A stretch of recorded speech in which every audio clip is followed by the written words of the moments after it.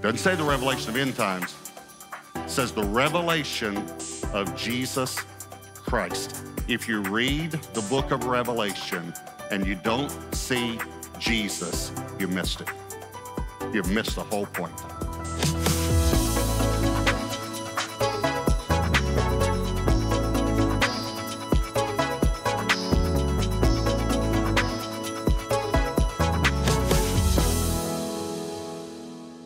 So uh, the series you've all been waiting for the four living creatures mentioned in Revelation and Ezekiel.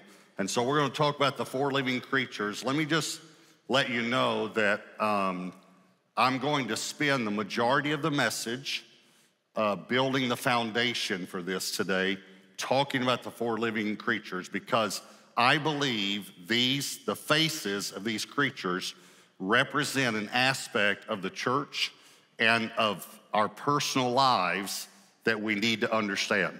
So I'll spend most of the message doing that, just so if you're one of those that you think it's been 15 minutes and he's not even point one yet, we need to call the restaurant and move our dinner plans. We'll still get out on time. I just have to build a foundation first, okay? And um, so we're gonna do that. So I call this message the four foundations because the four faces of these four creatures are foundational to the church. Any church you attend needs to have these four foundations, and you need to have these four foundations in your life. And I'm going to show you they're not just foundations, but with God, He builds on these periodically so that we go higher and higher in these four areas, all right? So, uh, we're going to start in Revelation chapter 4, and I'm going to read the whole chapter to you. It's only 11 verses, but I'm going to give you a little bit of background on the four living creatures, all right? Uh, and this has nothing to do with end times, by the way. That's not, uh, that's not, you won't hear that at all in this part because I don't believe that's what the four living creatures represent. So, Revelation chapter 4, verse 1. After these things I looked, and behold, a door standing open in heaven. And the first voice which I heard was like a trumpet speaking with me, saying, Come up here, and I will show you things which must take place after this. Immediately I was in the Spirit, and behold, a throne set in heaven, and one sat on the throne. And he who sat there, now I'm gonna talk about this in just a moment, was like a jasper and a sardius stone in appearance so, uh, well, let me go ahead and read the rest of the verse just and then I'll talk about it. And there was a rainbow around the throne in appearance like an emerald. Okay, so a jasper and a sardius stone. Uh, in, the, in Exodus 28, the priest had a breastplate on, and that breastplate had 12 stones. And each stone represented a tribe of Israel. The jasper represented the tribe of Reuben, the firstborn of Jacob and the sardius represents the tribe of Benjamin, his lastborn. So he says this in the, in the person sitting on the throne was like jasper and sardius stone. So, in other words, this, this is so good when you think about it. He was Jesus because he's the first and the last. The Bible fits together perfectly. It's, it's absolutely incredible. So when, when Israel would see these stones, they knew God is talking about the first and last. In chapter one, when Jesus reveals himself to John on the island of Patmos, where the book of Revelation was written, he says, he, his way he introduces himself I'm the first and the last. I'm the beginning and the end. I'm the Alpha and the Omega. So that's what the jasper and the sardius stone represents here. And then it says that there was a rainbow around the throne. Now, if you'll think about this, a rainbow is a semicircle, it's only half a circle but it's around the throne, so it's the full circle. And the rainbow represents the promise of God of grace. And here's what he's saying at the throne, the promise is complete. It is now completed because God's done what he wanted to do. So that's verse three. So then look at verse four. Around the throne were 24 thrones, and on the thrones I saw 24 elders sitting clothed in white robes, and they had crowns of gold on their heads. Now, just to let you know, most theologians believe, and I believe this as well, that the 24 elders represent the 12 tribes of Israel in the Old Testament and the 12 apostles in the New Testament. So that's where you get the 24 from. Verse 6. No, verse 5. And from the throne proceeded lightnings, thunderings, and voices. Seven lamps of fire were burning before the throne, which are the seven spirits of God. Just again, giving you background. Isaiah, if you want to know what the seven spirits of God are, they're in Isaiah 11, verse 2. So they're listed right in Isaiah 11, verse 2. The, the middle five are easy to see. The first one's the Spirit of the Lord, the seventh one is the Spirit of the fear of the Lord. And then the other five are simply just listed there, very easy to see. Verse 6 Before the throne, there was a sea of glass like crystal. And in the midst of the throne and around the throne were four living creatures, full of eyes in front and in back. The first living creature was like a lion, the second living creature like a calf, or this is a young ox. The third living creature had a face like a man, and the fourth living creature was like a flying eagle. The four living creatures, each having six wings, were full of eyes around and within and they do not rest day or night, saying, Holy, holy, holy, Lord God Almighty, who was and is and is to come. Whenever the living creatures give glory and honor and thanks to him who sits on the throne, who lives forever and ever, the 24 elders fall down before him who sits on the throne and worship him who lives forever and ever and cast their crowns before the throne saying, You are worthy, O Lord, to receive glory and honor and power, for you created all things, and by your will they exist and were created. Now remember, these 12 stones I talked about a moment ago, that the breastplate of the priest had 12 stones, the 12 tribes of Israel. These 12 stones are also in the foundation of New Jerusalem.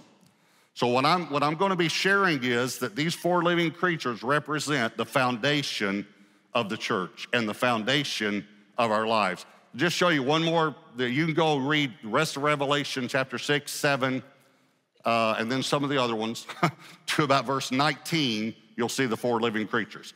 But let me just show you in chapter 6. These are all the odd verses, if you want to try to remember 1, 3, 5, and 7. Watch the four living creatures. Verse 1. Now I saw when the Lamb opened one of the seals, and I heard one of the four living creatures saying with a voice like thunder, Come and see. Verse three, when he opened the second seal, I heard the second living creature saying, Come and see. Verse five, when he opened the third seal, I heard the third living creature say, Come and see. Verse seven, when he opened the fourth seal, I heard the voice of the fourth living creature saying, Come and see. So the living creatures speak. And what are they saying? They're saying, Come and see the unfolding revelation of Jesus Christ. And let me tell you something about the book of Revelation, and I believe that many, many people miss it. And they say this is end times. The book of Revelation does have some passages about end times. The book of Revelation, though, tells us about what happened before the fall, before the earth was ever created. It actually tells us about the fall of Satan and a third of the angels falling. That's in Revelation. That's not future. It also tells us about the coming of the Messiah the first time. It also tells us about the birth of the church. So the, the book of Revelation is so much more, and we write it off as something we can't understand. But you're, you will miss Revelation if you, if you think this is the revelation of end times. It is not the revelation of end times.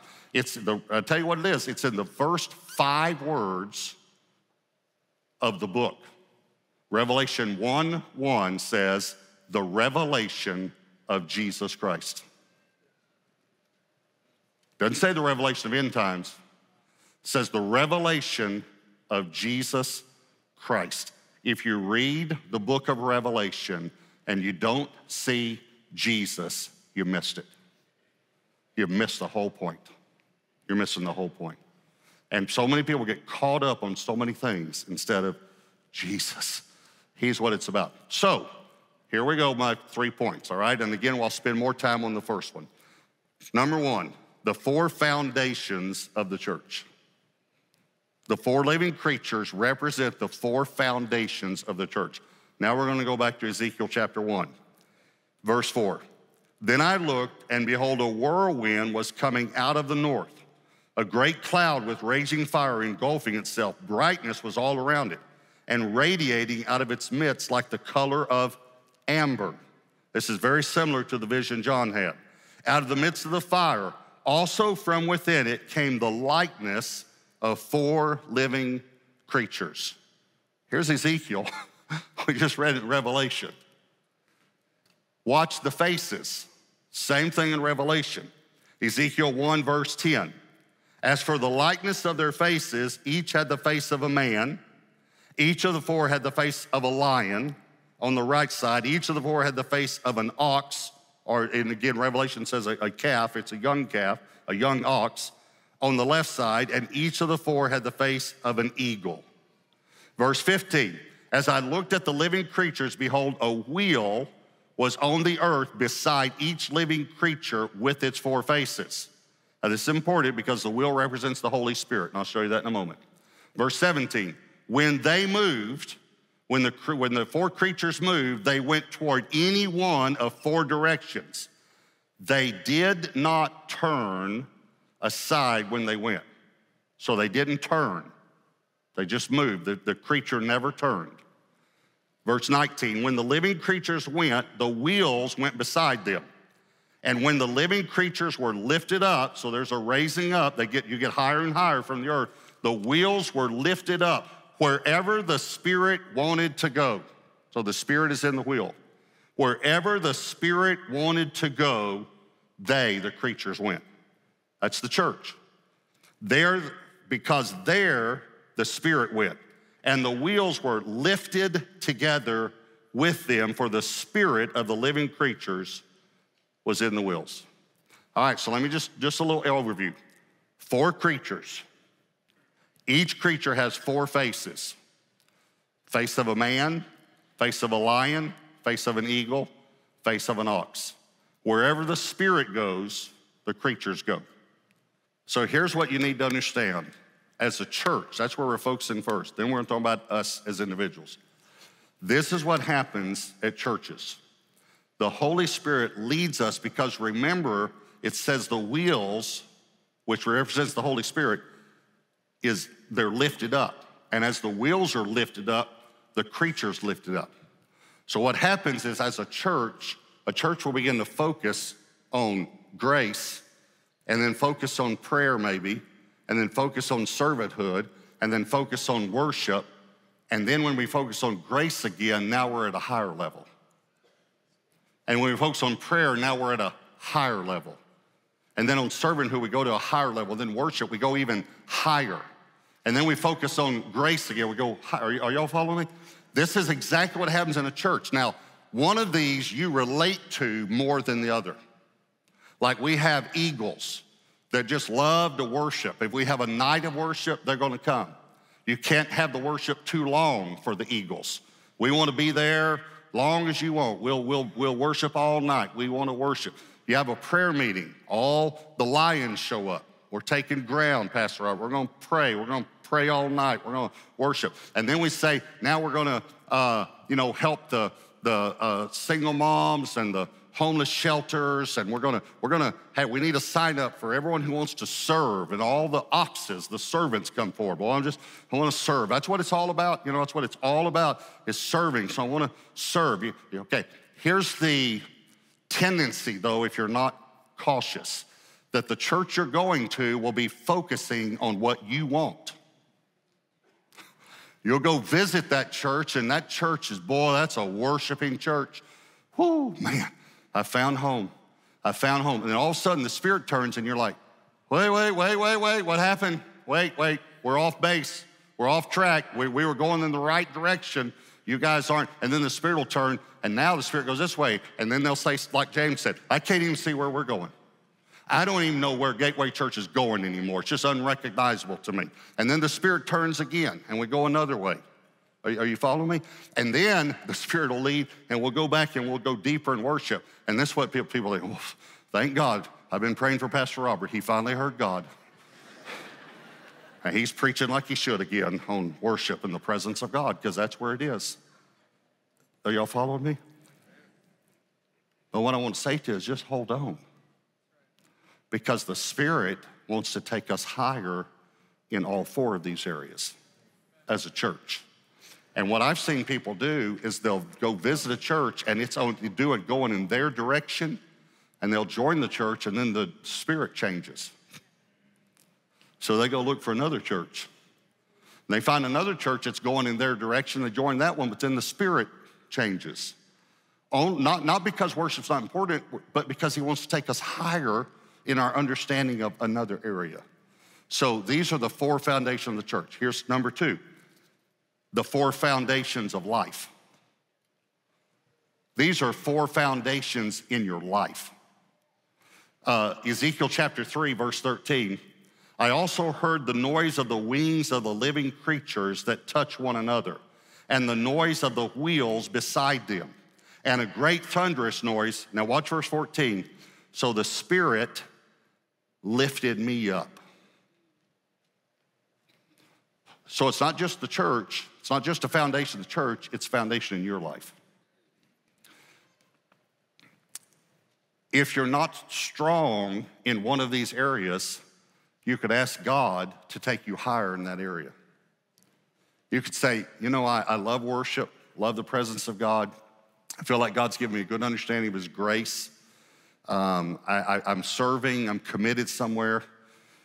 But Lord, I need to go higher in my prayer life. Uh, I need to become a prayer warrior for my family. I need to become a prayer warrior for my kids. Now, this is a frequent prayer of parents of teenagers. I need to go higher in prayer for my marriage. I need to go higher in prayer for my business. I need to go higher in prayer. Okay, that's great because the Holy Spirit wants to lead you there. So these are four foundations, not just in the church, but they have to be in your life. And so this during this series, we're going to look at each of these foundations and say, where are you? Can, can we as a church go higher, not just as a church corporately, but I as an individual, can I go higher in my prayer life? Can I go higher in my worship life? Can I go higher in my humility serving others? And can I go higher in being gracious and kind to other people as well? And in my understanding of grace, even in forgiving myself. Can I go higher? These are four foundations of the church. They're four foundations of life. And then I'll take each week and go through a foundation. So I don't, I just have one little application on this one. So here's the first foundation. Really, it's point number three. It's the foundation of grace. The foundation of grace. And I, I, I preach on grace a lot. And I sprinkle every message with grace because the strength of sin is the law. That's 1 Corinthians 15 56. Let me just say that again because this is so heavy, you, you, you should meditate on this months. The strength of sin is the law, those seven words. In other words, if I stand up and preach law to you, sin actually has strength in your life. It gets stronger and stronger. The more I say, don't, don't, don't, the stronger sin gets. You say, well, what, what overcomes sin? Love. See, I'm, I'm faithful to my wife not because I stood in front of a preacher one day and said, I do, but because I love her. That's, that's going to trump every commitment that I make by words. It's love. So, so I preach on grace a lot, a lot. So, but I have one burden on grace for today for us. Before I do, let me just show you why I say the man represents grace. It's because the man, and I don't know if any theologian doesn't believe in this, it represents Jesus. And grace came through Jesus. Jesus referred to himself just in the Gospel of Matthew 30 times as the Son of Man. He's the first one ever referred to himself that way, the Son of Man, because he's God and became man. 82 times in the Gospels, Jesus refers to himself as the Son of Man. Let me just show you a few in Matthew. Matthew 12, verse 8 For the Son of Man is Lord even of the Sabbath. Matthew 16, 13 Who do men say that I, the Son of Man, am? Matthew 16, 27 For the Son of Man will come in the glory of his Father. Matthew 18, 11 For the Son of Man is come to uh, save that which was lost. Matthew 20, 28, just as the Son of Man did not come to be served, but to serve. Matthew 26, 2, you know that after two days is the Passover, and the Son of Man will be delivered up to be crucified. So Jesus is the Son of Man. And then why do I say he represents grace? John 1 17, for the law was given through Moses, but grace and truth came through Jesus Christ. So I have one burden about grace because I've preached a lot of series on grace, but I've got one burden for all of us right now, okay? And that is how gracious are you to yourself? Are you still giving yourself grace? Because when you got saved, you received grace. But are you still receiving grace 10 years later? You're still receiving grace for your failures after you got saved. Uh, Paul, uh, traveling to Corinth, uh, comes to Ephesus, Acts 19, and he says to them, Have you received the Holy Spirit since you believed? So it's a great question. Have you received the Holy Spirit since you believed? Okay. I thought about that question, and this is what I want to uh, use that question and turn it toward the subject of grace. Have you received grace since you believed? In other words, someone shared the gospel with you and said, All your sins can be forgiven. And you probably cried. And you thought, But I'm, I'm a bad person. And they said, Yeah, but Jesus died. And it's like a light came on, and you're like, Yes. And you received the grace of God. But how are you receiving the grace of God since you believed? Now, how, how are you about receiving the grace of God for your failures since you became a Christian? Not just what you did before Christ, but what you've done after Christ. Uh, and here's a test Do you play those failures over and over in your mind? Uh, a failed business, a failed relationship, a failed marriage, a failed venture, a failed dream. So, are you still receiving grace? This is, this is it's like one little burden I have for you that could be a really big burden. Um, after we started the church, the church took off. And Satan started attacking me. Uh, I've told you before, in my early 20s, um, I had a big time failure in my marriage. And Satan started attacking me just with, there's, what are you doing pastoring a church? What are you doing standing up there telling people how to live their lives with this failure in your life? What are, you, what are you doing? You don't, you, I mean, it was just, it's just horrible shame. Constant attack.